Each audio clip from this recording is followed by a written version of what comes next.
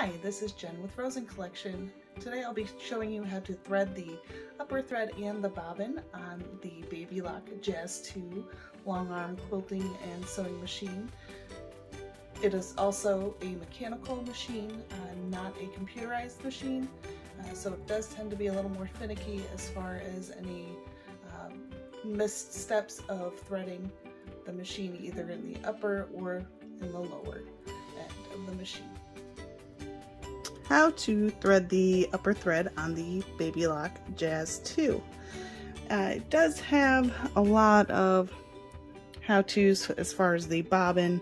Uh, kind of skips around a little bit. Um, just go straight into step one. Uh, so I do follow the how to put the spool on uh, here at the bobbin to start for step, I guess, zero have the thread coming off the spool will be coming towards you and I place it on the arm and then place the stopper on the end. Uh, typically you don't really want the spool to spin, the thread will come off and unravel around the spool itself. Uh, so according to step one, which is also printed on the bottom here, you take it and stick it through the loop in here and take it and put it under this little arm piece here and underneath that metal plate down and around this post here to step two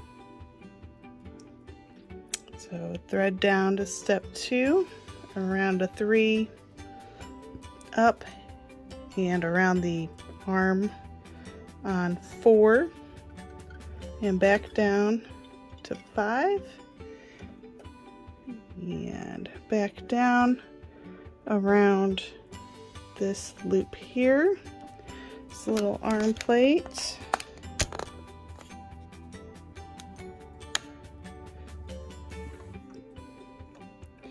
And to thread with the threader put it under the arm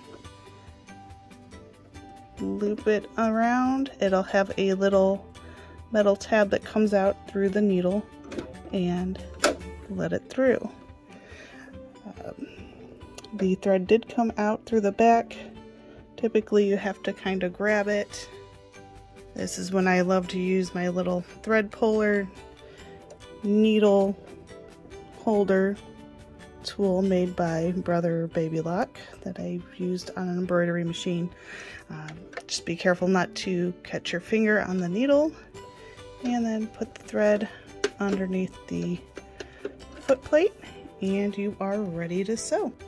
How to thread the Baby Lock Jazz 2 bobbin. You open the door, uh, remove that door